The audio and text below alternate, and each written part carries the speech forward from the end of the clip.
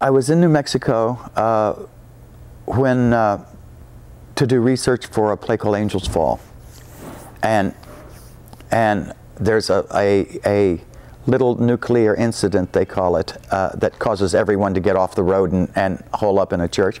Uh, there's a spill of uh, of uranium that uh, in the area that there's a lot of uranium mines in that area, and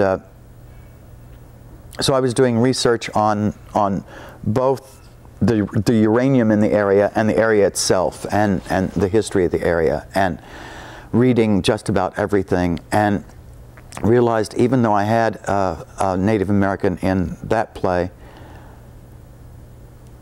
I, I still hadn't addressed the issue of the making of the atomic bomb which was one of the books I read there. And I couldn't believe it when uh,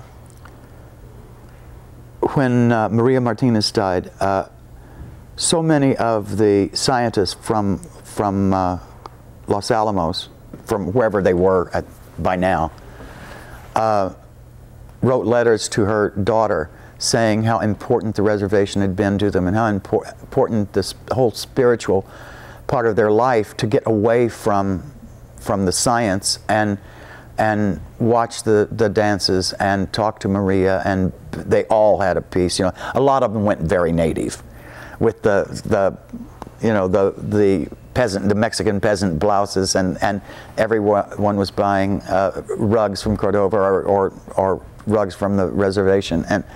Uh, and of course pottery from, from San Ildefonso and San Clara, and Clara, I think it is. And uh,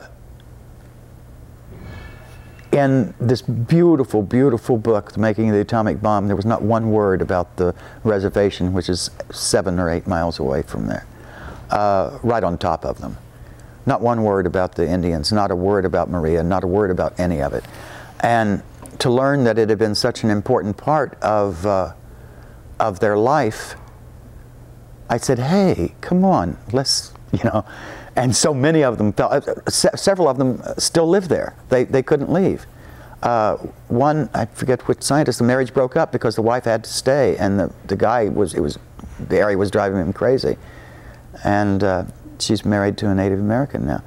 Uh, but the stories are endless of the, the interaction between the San Ildefonso Reservation and, and uh, Los Alamos. And so I had to get that, I had to get that on, on stage. And also, reading The Making of the Atomic Bomb, I hadn't realized quite the, the inner conflict that so many of the scientists had making the bomb. Uh, there were several of them had refused to, uh, to join, you know, and still kept the secret that it was being made, but refused to be a part of it. Rabi uh, was uh, one of the very few uh, uh, that's Isidor Rabi? I. I. Rabi, I think. Uh, he, uh, he was working on radar, and he said, I think that's going to be as important as what you're doing here. So he was one of the few that, that was a consultant that came and went because he was working on radar, and, and also the other guys didn't, didn't come and go. They, they were there for the duration.